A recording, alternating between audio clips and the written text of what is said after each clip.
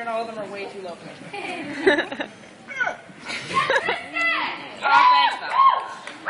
Okay, so um, there's this queer spoken word artist named Andrea Gibson who does some amazing poetry, and a bunch of us from Queers and Allies got to see her in Iowa this, what, a couple weekends ago?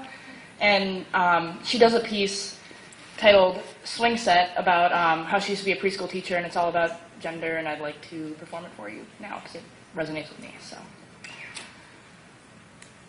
Are you a boy or a girl? He asks, staring up at me in all three feet of his pudding faced grader, and I say, Dylan, You've been in this class for three years and you're telling me you still don't know if I'm a boy or a girl? Uh-uh. Well, I don't think it really matters at this point, do you? Ah, uh, no. Can I go push on the swing? And this happens every day. It's a tidal wave of kindergarten curiosity rushing straight for the rocks of me, whatever I am.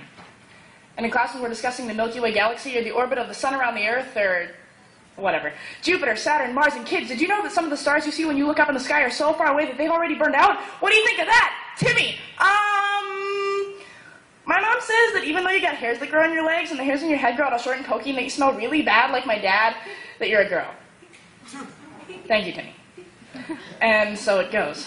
She peers up at me from behind her pink Powerpuff sunglasses and asks, Do you have a boyfriend? And I say no. And she says, Oh.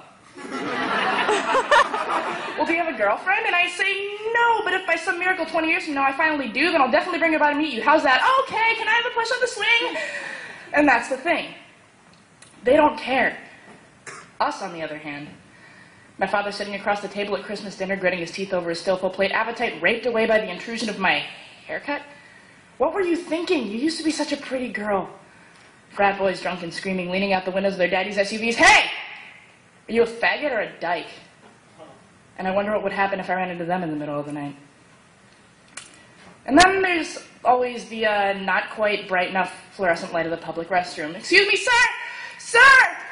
Do you realize this is the ladies' room? Why, yes, ma'am, I do. It's just that I didn't feel comfortable sticking this tampon at my penis in the men's room. but the best, the best is always the mother at the market sticking up her nose and pushing aside her daughter's wide eyes, whispering, Don't stare, it's rude. And I just want to say, listen, lady, the only rude thing I see here is your paranoid parenting pushing aside the best education on self that little girl's ever going to get, living with your Maybelline lips, Stairmaster hips, and synthetic Kiwi vanilla scented beauty. So why don't you take your pinks and blues, your boy girl rules, and shove them in that cart with your fucking issue of Cosmo, because I get to start my day with 28 minds that know a hell of a lot more than you. And if I showed up in a pink frilly dress, those girls aren't going to love me any more or less.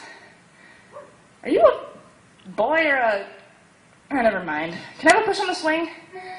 And someday, y'all, when we grow up, it's all going to be that simple.